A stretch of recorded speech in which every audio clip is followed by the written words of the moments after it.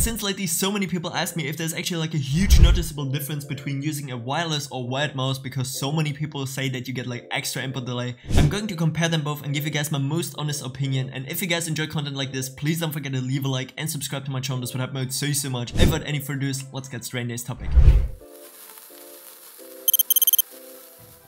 Guys, of course it's quite easy to tell that a wired mouse is gonna have less latency than a wireless one, but we're just gonna compare here if it is really that noticeable since there's so many Fortnite pros still using the G Pro wireless, which is obviously a wireless mouse guys. And yeah, just take a look at Razer's brand new mouse here, they produced like an 8000 Hz polling rate mouse, which was the Razer 8K Hz, and this pretty much means that this mouse communicates with your PC 8000 times per second, which is translating to 0.125 milliseconds response time. This is insanely fast guys and you do have to keep in mind these are such low numbers so therefore you can't really tell that it's also like noticeable for everyone who doesn't play on like a high competitive level. I mean if we compare it with the normal Viper Ultimate which has only 1000 Hz which means that this mouse communicates 1000 times per second which will result in a 1 millisecond response time. This is still also insanely fast. And yeah as mentioned you gotta play on a real high competitive level to actually notice the difference between 0.125 milliseconds or 1 millisecond. I mean just compare it with monitors. There are like high hertz monitors out there with like 2 milliseconds of response time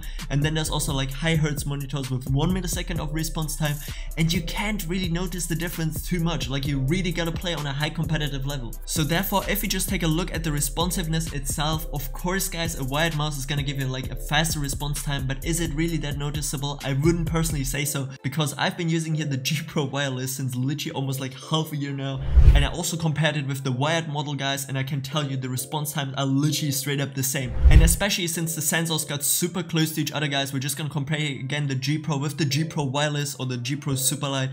Both of them go to 25,000 dpi which means guys they're super fast Therefore, there shouldn't really be like too big of a difference. I think like the most beneficial factor about wired mice is actually that they're a little bit lighter. Let's just compare like the normal wired Razer Viper which weighs around 69 grams compared to 74 grams on the Razer Viper Ultimate because of course you also have like the batteries in there and like all the technology for it to work wireless.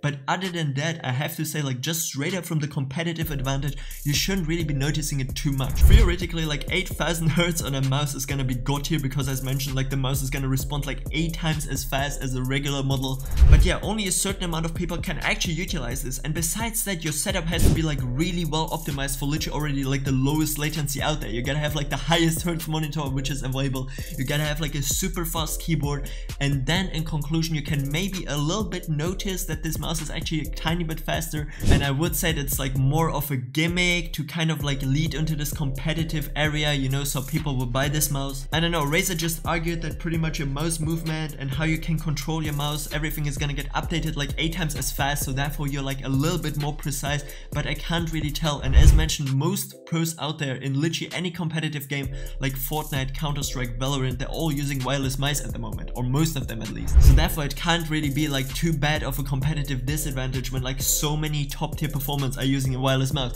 I mean Kaysen is using the G Pro wireless guys. He's like right now the best player in the world like PR wise. So therefore I don't think so that he would actually like use a wireless mouse if it would be that bad. And really to argument that like USB receivers are not as good on wireless mice or whatsoever if you really got like a high top tier brand, I don't know something like Logitech Glorious SteelSeries, no matter where you buy your wireless mouse from, you, you just gotta be chilling guys. Sensors got literally so good and even like Linus Tech Tips did a comparison like I think like two years ago and he even said himself that there is no noticeable difference. So therefore guys, you don't have to ask me down in the comment section below. I got literally so many DMs of people asking like, yo, is it true that if you use a wireless mouse, you're gonna get more input delay and actually way more latency while playing competitive Fortnite? And guys, I gotta tell you, the difference is not noticeable at all. Of course, you gotta be also a little bit careful because there are some Bluetooth mice out there which only have like 133 Hz, which might actually seem enough, but guys, trust me, like if you're using like a low tier wireless mouse, you're definitely gonna notice the difference. Like I used the M800 Deluxe and I gotta say sometimes I got a little bit of skipping there, you know, because the sensor is not really like up to date and like the whole technology in this mouse so therefore I can really recommend you try to go for some established brand where you know already that they get good specs in there. And yeah guys this is it for today's video. If you enjoyed it please don't forget to leave a like and subscribe to my channel this would help so so much and if you still have any more questions feel free to ask me them down in the comment section below. I try to answer as many as possible. And with that said have a great day have a great night whenever you're watching this and until next time stay awesome I'm out. Peace.